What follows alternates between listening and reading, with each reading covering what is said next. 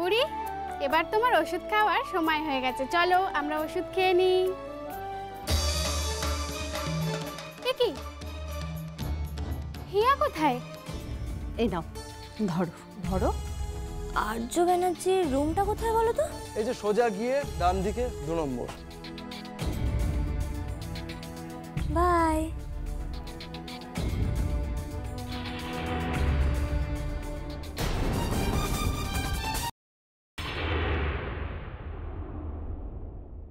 হিয়া, আজকে তোমাকে কতবার করে বললাম যে আজকে আমার সঙ্গে আসতে হবে না। তুমি বাড়িতে দিদুনের সঙ্গে থাকো, একটু শুয়ে বিশ্রাম করো।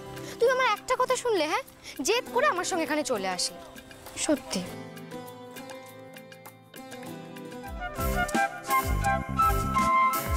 কি হলো? বারে জেদ করবে না? জেদ করা আমি তোর থেকেই শিখেছি। হিয়া, একেবারে দিয়ার মতন হয়েছে। দিয়ার যেমন জেদ হিয়ার তেমন জেদ হিয়া? তুমি কেন বুঝতে চাইছো না? তোমার তো শরীরটা খারাপ শোনা শরীর থাকলে তো খারাপ হবেই। এই নিয়ে ভাবার কি আছে? এরকম তো আমার মাঝে মাঝে হাই হাসপাতালে যাই ওষুধ খাই আবার পেটে দুষ্টুমি করি। তবে হিয়া আমি কিন্তু বলে রাখলাম আজকে কিন্তু কোনো দুষ্টুমি করা চলবে না। আজকে তুমি চুপটি করে বসে আমার খেলা দেখবে। ঠিক আছে তো? চলো। চুপটি করে বসে থাকবে কিন্তু।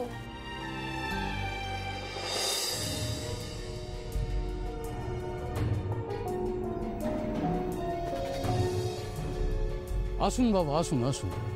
এই অঞ্চলে নতুন বুঝি। আগে তো কখনো দেখিনি। আহ, হ্যাঁ। গাড়ি নিয়ে এদিক দিয়ে যাচ্ছিলাম তো হঠাৎই বজরঙ্গলির মন্দির চোখে পড়ল। এ মন্দির মানুষকে টানবেই টানবে বাবা। এ মন্দির ছোট হতে পারে, কিন্তু খুব জাগ্রত। বজরংবলী সব মানুষের সব মনস্কামনা পূর্ণ করে। আপনি এক মনে যা চাইবেন, তাই পাবেন। একবার চেয়েই দেখুন না বজরংবলীর কাছে।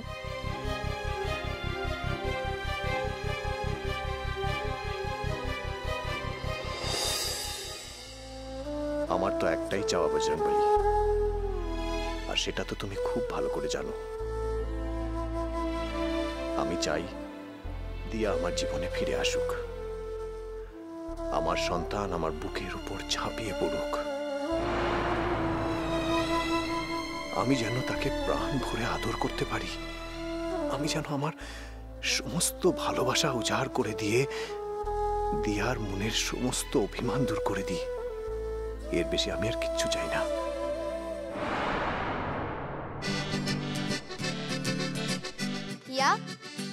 বলেছি মনে আছে তো? একদম কিন্তু দুষ্টুমি করা চলবে না হ্যাঁ? আর চুপটি করে বসে খেলা দেখবে। হ্যাঁ রে বাবা। আমি তো তোর খেলা দেখব বলে এলাম, মা। কাল তোকে এত করে প্র্যাকটিস করাম আর আজকে তোর ম্যাচ দেখতে আসব না? তুই ভালো খেলছিস না, পচা খেলছিস? সেটা মুখে দেখতে হবে না?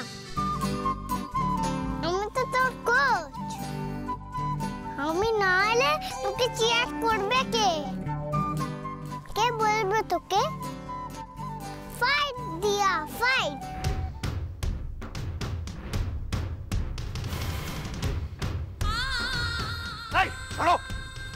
এরা কেউ তোমাকে জিততে দেবে না।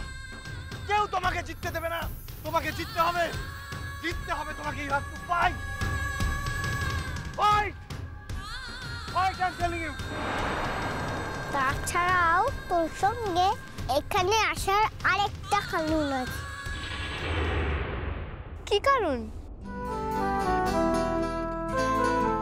হ্যাঁ বাবা কি হয়েছে? মা আমার মন বলছে যে আজকে আমার বাবা আসবে রে মা। ওর সঙ্গে দেখা করতে হবে না।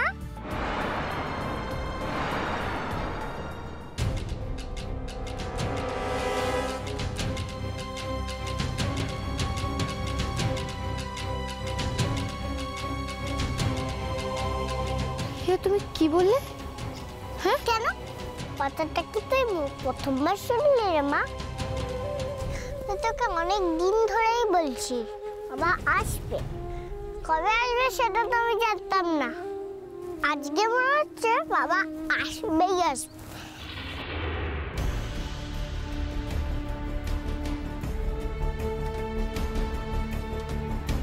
ঠিক ঠিক আছে তো তুমি এখন চলো।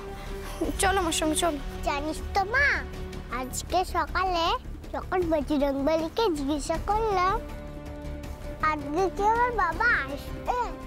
বজরংবলী মনে হলো জানো গান হ্যাঁ বলল। কি বললে? বজরংবলী তোমাকে ঘাড় নেড়ে হ্যাঁ বলেছে? হ্যাঁ। তাছাড়া দিদি তো বলে বাচ্চাদের মুখে ঠাকুর থাকে। তো বাচ্চা আমি যখন বলছি তখন বাবা আজকে আসবেই আসবে।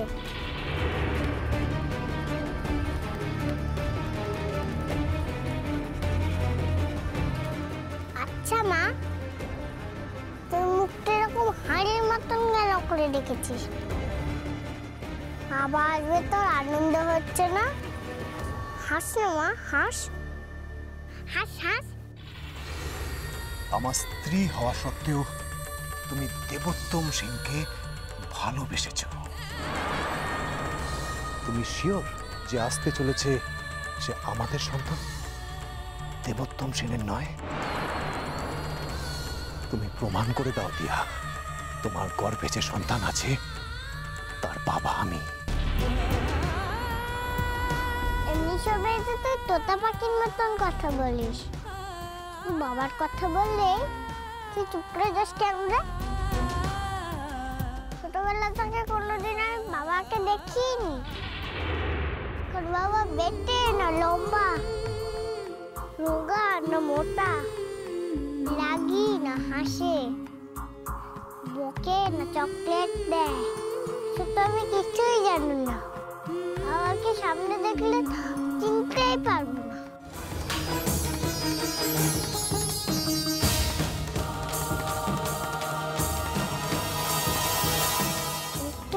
বাবার সঙ্গে দেখা হবে আমার। কোথায় আমি এখন আনন্দে লাফালাফি করব। তা না মাথায় হাজারটা চিন্তা নিয়ে ঘুরতে হচ্ছে আচ্ছা হিয়া এই সমস্ত চিন্তা ভাবনা তোমাকে কে করতে বলেছে হ্যাঁ? কোনো চিন্তা করার দরকার নেই। শোনো আমি যেখানে নিয়ে যাচ্ছি ওখানে চুপটি করে বসবে এবং বসে খেলা দেখবে ঠিক আছে? না বসবো না। বসবো না মানে? আমি তো সব কথা শুনি। তুই কিন্তু আমার একটা কথাও শুনিস না। কতদিন ধরে বলছি, বাবার একটা ছবি দেখা তো আমার তাও দেখাস না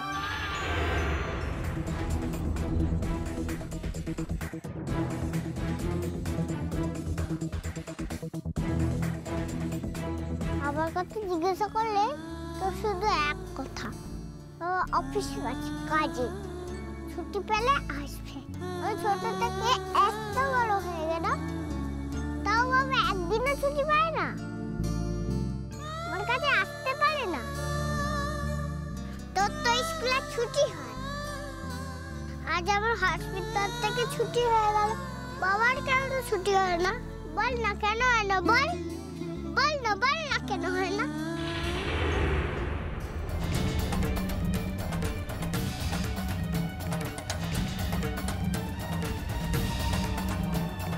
হিয়া কি দুষ্টুম হচ্ছে সব তুমি শোনো আমার কথা। না যতক্ষণ না আমার বাবা আসছে, আমি তোর কোনো কথা শুনব না।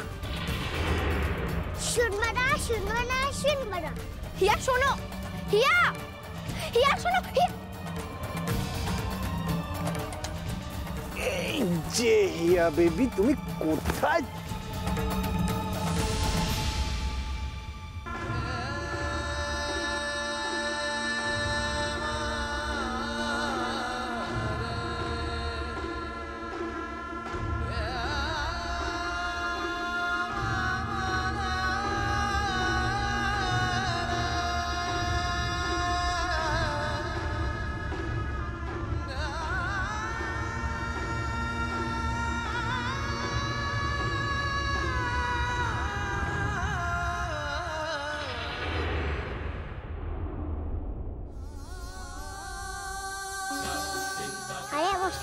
সেই লোক না ভালো করে গাড়ি চালাতে পারেন তুমি একটা বড় গাড়ি নিয়ে ঘুরে আপনি সেদিন বুবুকে ধাক্কা দিয়েছেন না?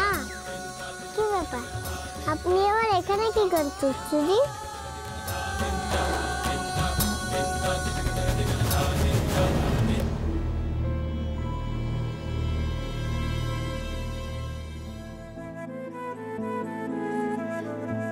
আমাদের বেবির উপরে তুমি রাগ করবে।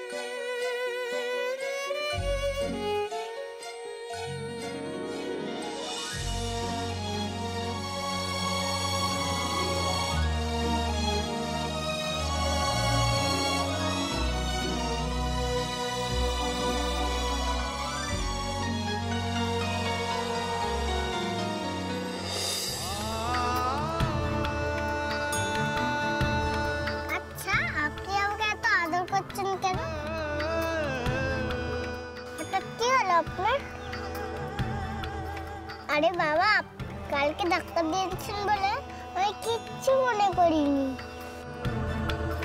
মা, জানিস, এই লোকটা না কালকে আমাকে গাড়ি করে বাড়ি পৌঁছে দিয়েছিল। আর আজকে আমাকে কত আদর করছে দেখ।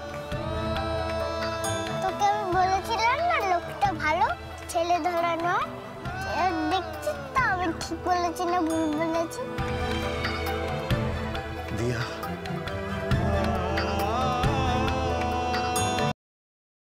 হিয়া নেমে এসো তুমি। মশাই আপনি আমাকে ছাড়ুন। মা ডাকছে।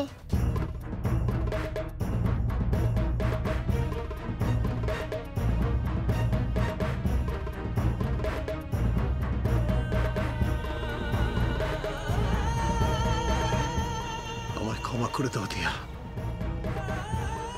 শেষবারের মতো। মা মা কি আমার বাবা?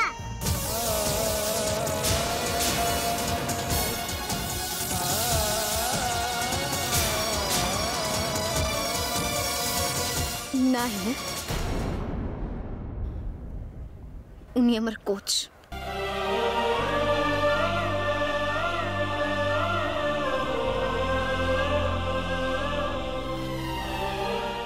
চল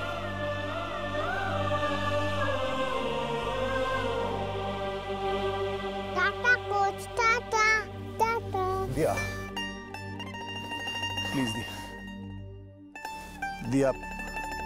আর মুখ ফিরিয়ে নিও না। দেখো, পাঁচ বছর ধরে তুমি এভাবে এভাবে আমার থেকে মুখ ফিরিয়ে রেখেছো। দিয়া আমি আমি তো বিশ্বাসই করতে পারছি না যে আজ আমি তোমাকে খুঁজে পেয়েছি দিয়া। তুমি আমার সামনে দাঁড়িয়ে আছো, আমার আমার মেয়ে আমার সামনে। দিয়ে আমি আমার মেয়েকে বুকে জড়িয়ে ধরে আদর করতে পেরেছি, আমি আমি এটা বিশ্বাস করতে পারছি না। আমি বিশ্বাস করতে পারছি না যে আমি এই মুহূর্তটাতে বাঁচছি। আমি মুহূর্তটা ফিরে পেয়েছি, দিয়া। প্লিজ, আমায় এই মুহূর্তটা একটু থাকতে দাও, দিয়া। আমি তোমাদের একটু প্রাণ ভরে দেখি। তোমাকে, আমার মেয়েটাকে একটু প্রাণ ভরে দেখি, দিয়া। পাঁচ বছর ধরে তোমাদের দেখতে না পাওয়ার যে যন্ত্রণাটা আমার আমার বুকের মধ্যে পাথর চাপা দেয়া ছিল সেটাকে উপরে ফেলতে দাও দিয়া প্লিজ প্লিজ আর একটু থাকো। চলে যাও না দিয়া আর একটু থাকো আমার সাথে প্লিজ এই মুহূর্তটা আমার সাথে থাকতে দাও। দিয়া প্লিজ থাকো। এই মা, লোকটা কি বলছে শোন না, মা। আপনি দাঁড়ান তো, মশাই। আমি আপনার কথা শুনছি। মা, আমাকে নাম্বার তো নাবা হিয়া আপনি কি বলছেন আর বলুন তো? হিয়া চলো। আমাদের কিন্তু দেরি হয়ে যাচ্ছে। চলো।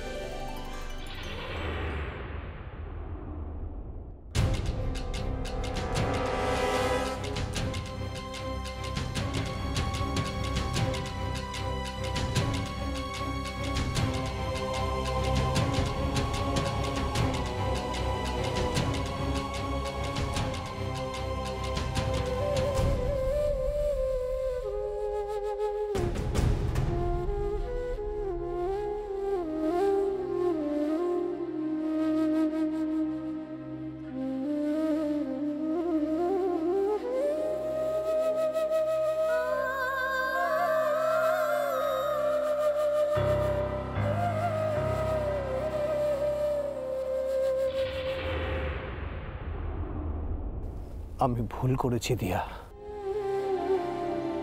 আমায় ক্ষমা করে দাও। প্লিজ আমায় ছেড়ে যেও না, দিয়া। তুমি যে শাস্তি দেবে, সেই শাস্তি দাও।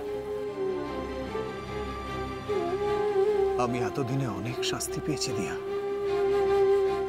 এর থেকে বরং তুমি আমায় মেরে ফেলো। কিন্তু প্লিজ। আমায় ছেড়ে যেও না। আমি পাঁচ বছর ধরে শুধু এই দিনটার জন্য অপেক্ষা করেছিলাম। কবে তোমায় দেখব? আমার হিয়াকে দেখব। আর আজ আজ আমার অপেক্ষার শেষ হলো, দিয়া। আমি তোমাদেরকে ফিরে পেয়েছি। আমার আমার মেয়ে হিয়াকে ফিরে পেয়েছি। আজ আর আমাকে ছেড়ে যেও না, দিয়া। বিশ্বাস করো, আমি সারা জীবন শুধু তোমাকেই ভালোবেসেছি, দিয়া। আর আমার আমার ভালোবাসাতে কোনো খাত নেই। দিয়া, আমি আমি তোমাকে সন্দেহ করতে চাইনি। এমন একটা মুহূর্তে কি যে হয়ে গেল দিয়া? আমার মন, আমার মাথা, সব আমার হাতের বাইরে চলে গেছিল। অন্য কেউ আমার মন, আমার ভাবনা, আমার বিশ্বাসকে তার হাতের পুতুল করে নিয়েছিল দিয়া। আর সেই মুহূর্তে আমি আমি আমার জীবনের চরম ভুলটা করে বসেছি। তোমাকে আমার থেকে দূরে ঠেলে সরিয়ে দিয়েছি। দিয়া। পাঁচ বছর ধরে সেই ভুলের বোঝা আমি বয়ে চলেছি দিয়া। আর আমি শুধু একা নই, আমি জানি আমরা দুজনেই সেই ভুলের বোঝা বয়ে চলেছি। আর সহ্য হচ্ছে না দিয়া। আর সহ্য হচ্ছে না। একই শাস্তি আমরা দুজনেই পেয়ে চলেছি দিয়া। একই ভুলের বোঝা আমরা দুজনেই বয়ে চলেছি। আর না। আর সহ্য হচ্ছে না, দিয়া। আর সহ্য হচ্ছে না। আমি জানি, দিয়া, তোমার বুকের ভেতরেও সেই একই রকম রক্ত ঝরছে। চুপ করে থেকো না, দিয়া। চুপ করে থেকো না। বলো বলো, দিয়া। তুমি আমায় বকো। আমায় মারো, আমায় আমায় শাস্তি দাও দিয়া, কিন্তু চুপ করে থেকো না। এই পাঁচ বছর ধরে তোমার বুকের মধ্যে যে পাথর চাপা দেওয়া রয়েছে যন্ত্রণার, সেটাকে তুমি উপরে ফেলো দিয়া। উপরে ফেলো। দিয়া, তুমি তো আমাকে অন্য কোনো শাস্তি দিতে পারতে। আমাকে ছেড়ে চলে গিয়ে তুমি আমাকে শাস্তি দিতে চাইলে কেন? নাকি তুমি ভেবেছিলে আমাকে ছেড়ে চলে গেলে তুমি আমাকে সবচেয়ে বড় শাস্তিটা দিতে পারবে? দিয়া আর না। আর না, অনেকটা সময় কেটে গেছে দিয়া পাঁচ পাঁচটা বছর। পাঁচ পাঁচটা বছর এভাবে কেটে গেছে। তোমাকে ছাড়া, হিয়াকে ছাড়া আমি আর একটা মুহূর্ত নষ্ট করতে চাই না, দিয়া। একটা মুহূর্ত না। তোমাকে ছাড়া, হিয়াকে ছাড়া আমার আমার জীবনের তো কোনো অস্তিত্ব নেই, দিয়া। আমি তোমাদেরকে নিয়ে বাঁচতে চাই। তোমাকে নিয়ে, হিয়াকে নিয়ে আনন্দে জীবনটা কাটাতে চাই, দিয়া। সুখী হতে চাই। কেন, দিয়া? কেন তুমি আমাকে ছেড়ে যাওয়ার কথা বলছো? আমি তোমাদেরকে দু চোখ ভরে দেখতে চাই। আমি তোমাদেরকে ছাড়ার একটা মুহূর্ত বাঁচতে পারব না। আমি থাকতে পারব না দিয়া তোমাকে ছাড়া, হিয়াকে ছাড়া। কেন আমার থেকে দূরে চলে যাওয়ার কথা বলছো? প্লিজ দিয়া, প্লিজ। একটা বারের জন্য আমাকে আমাকে তুমি ক্ষমা করে দাও। ফিরে এসো আমার কাছে দিয়া। তুমি আমার প্রাণ দিয়া। You are everything to me তুমি হিয়া আমার জীবনের সবকিছু। তোমাকে ছাড়া তো আমার কোনো অস্তিত্ব নেই দিয়া। আমি আমি তোমাকে ছাড়া শির দাঁড়া সোজা করে দাঁড়াতেই পারব না। আমি নিজের ভুলে তোমাকে হারিয়ে ফেলার যন্ত্রণা, আমার সন্তানের বেড়ে ওঠার সাক্ষী হয়ে না থাকতে পারার যন্ত্রণা। আমি কিছুতেই সহ্য করতে পারব না, দিয়া। আমি কিছুতেই সহ্য করতে পারব না। হিয়াকে নিয়ে তুমি ফিরে এসো, দিয়া। প্লিজ দিয়া। প্লিজ হিয়াকে নিয়ে তুমি ফিরে এসো, দিয়া।